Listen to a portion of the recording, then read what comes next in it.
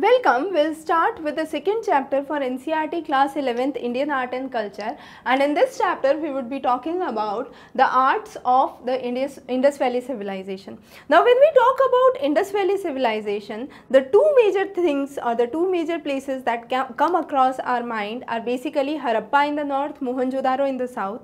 But as of now both are in Pakistan. If we talk about the places from Indus Valley civilizations which are part of India as of now are Lothal and Dholavir uh, in Gujarat. Then you have Kalibangan in Rajasthan, Balathal in Rajasthan, Rupar in Haryana and uh, Rakhigarhi in Haryana. So basically Rupar in Punjab and Rakhigarhi in Haryana. So those are the major centers that remain for the Indus Valley civilizations in India. Now what we have seen through this Indus Valley civilization is the various sculptures, seals, uh, potteries that we have found. But the idea here remains is this Indus Valley civilization was known for its unique planning systems or the planning structure. Along with the planning structure, what was unique for this region was the drainage system. So, two things to be kept in mind, the planning systems, the drainage system. So, the layout of the city and the drainage system Besides this, the housing, the market, the storage, the offices, all of those were very, very important to understand. So, if we look onto the map of India, towards the west of Rajasthan, parts of Gujarat and the part which is now part of Pakistan has the uh, civilization centers from the Indus Valley civilization. So, you have Mohenjo-daro, you have Harappa, both of those now in Pakistan. Then in India, as we said, you had Kalibangan in Ra Rajasthan, you have Lothal, you have Dholavir in Gujarat and so on. So, those are the major centers for the Indus Valley civilization. Now, under Indus Valley civilization, you would have the stone statues, you would have the metal statues and then you would have the various seals. So, we will understand these one by one.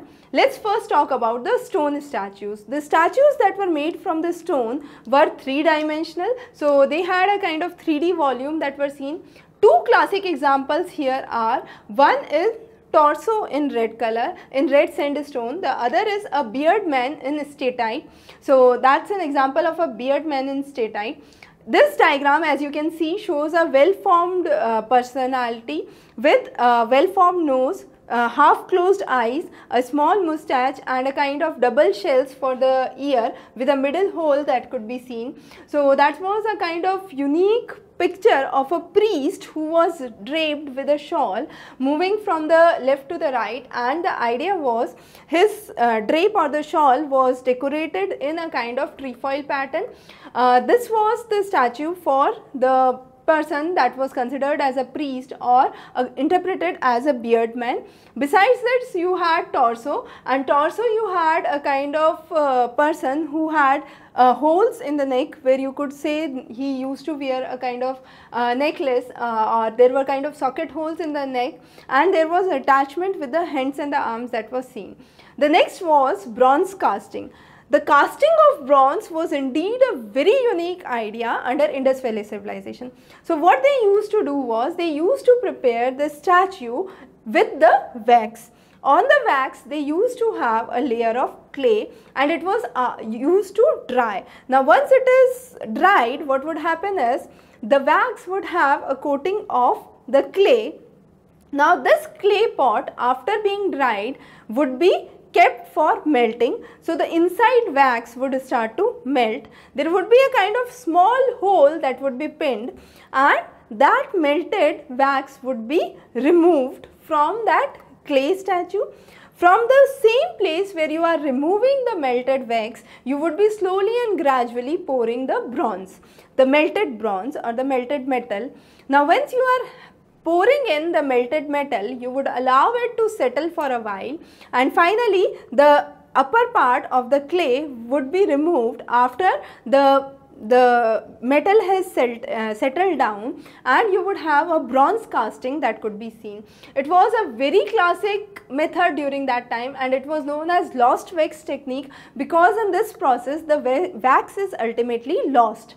Now the classic figures that were seen for bronze casting during that time was a figure of dancing girl. This was a kind of 4 inch copper figure seen from Mohenjo-daro. Uh, it showed bangles on the left hand and bracelets on the right hand. So you have a figure of dancing girl here. Then you have a buffalo with uplifted head, back and sweeping horns that were seen again from the metal piece. Similarly, uh, you had a dog that was seen from copper and a bird of Lothal that was seen. Bronze figure of the bull from Kalibangan were obtained. You had copper and bronze human figures obtained from Harappa and Mohenjo-daro and during the late Harappa period and the Chalcolithic sites li like Daimabad in Maharashtra, you had very good examples of metal cut structures or metal cast structures which were mainly human structures or animal structures those were seen. So this under this period you had the development with bronze casting that we had seen as we talked about or compared to the prehistoric period. Finally, you had terracotta. Now, it was mainly seen in a crude form. There was not much development in terracotta that was seen during that time. Some of the remains of terracotta have come up from Kalibangan. You have the example of mother goddess. So, the mother goddess had a kind of beaked nose and pelted eyes that was seen. So, pellet eyes and beaked nose is a classic character of mother goddess. Now, sometimes this could be a kind of direct MCQ for you. Uh, so, just have a good eye on it. Similarly, you had figurines of uh, beard ma males that were seen with coiled hairs. Uh, Similarly, horn deities were seen and small uh, toy carts were seen for the kids to play. So, those were the terracotta figures that could be seen during that time. Uh, then we have uh, the seals that were obtained. Now, as we said the dancing girl was a kind of uh, bronze structure that was seen during that time. So, it was a metal casting. So, you had stone casting, you had metal casting, you had terracotta and then seals. Seals were made mainly of steatite that is a soft river stone that is seen. Besides that you also had agate, chert, faience that's basically a kind of uh, tin glazed pottery that was seen and terracotta. Now these were used for commercial purposes. You had a 2 by 2 inch square seal that was seen that was a kind of standard seal. It has pictographic inscriptions so, on one side there were pictographic messages, on the other side you had inscriptions that were seen. Uh, it is made both in gold and ivory in the later period. However, most of it was made in steatite that was seen. You had animal figures, uh, figures of bull, elephant, tiger that was seen on one side. Similarly, you had Pashupati seal that was seen. Now, this Pashupati seal is a unique seal. So, you had a human figure that was cross-legged and sitting with elephant and tiger on the right side. Now this is important, sometimes you could be confused here. So you have elephant and tiger on the right, rhino and buffalo on the left and antelopes below the figure. So a man sitting in a cross-legged positions, you have elephant and tiger on the right side, rhino and buffalo on the left and antelope sitting below. So that was a classic Pashupati seal that was seen. Uh, as we said, Seals has had figures on one side, inscriptions on other side or inscriptions on both side. The next is pottery. Pottery came in various forms. It could be either plain pottery which was made of red clay which was the most common pottery during that time. You had fine wheel made pottery as well as handmade pottery that was seen. Black painted wares were seen which was having a kind of fine coating with geometric and animal designs. You had painted earthen jars that were seen. Uh, these were basically known for polishing and the geometrical figures that could be drawn. You had polychrome pottery that was very rare during that time. Small vases were seen which had a kind of geometric patterns. These patterns were in red, black, green, rarely uh, white and yellow that were seen you had incised wares that were seen. These were confined to the base of the pans that were seen.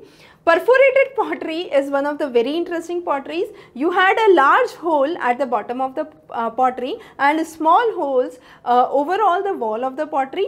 The idea was to strain the liquor during that time and it was also used for straining other liquids in the kitchen. So, the, the idea of perforated pottery itself was a very unique concept in the Indus Valley civilizations. Also you had miniature vessels which were smaller than the size of half an inch. So those were some of the developments. Then you had beads and ornaments. Now when it comes to beads and ornaments, what is unique? You had earrings, anklets, uh, griddles that were worn. Then you had jewels that were found from Mohenjo-daro and Lothal. Those were mainly the necklaces which were gold or semi-precious. You had copper and beads that were seen.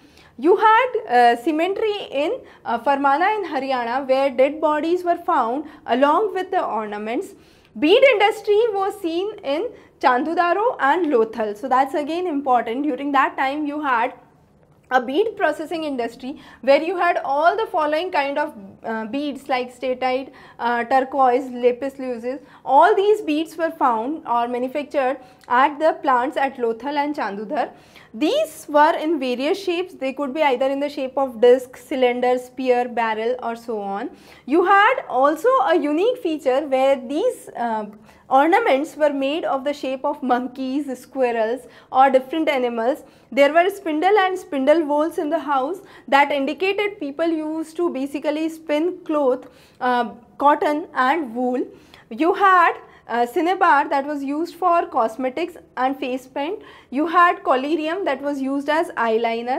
So those were some of the things that promoted or showed that fashion was indeed very very important during the Indus Valley civilization. People used to maintain different hairstyles and beard. So those were again a part of the fashion during that time.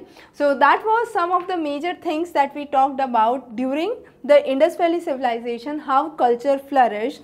And when we talk about culture, it was not only the stone, but it was also the metal culture and a little of terracotta that came into existence. Steatite was indeed a very uh, known uh, uh, thing during that time because it was a kind of soft river stone and you had a ample of water through the Indus Valley uh, that was flowing through there. So, you had a lot of steatite that was seen.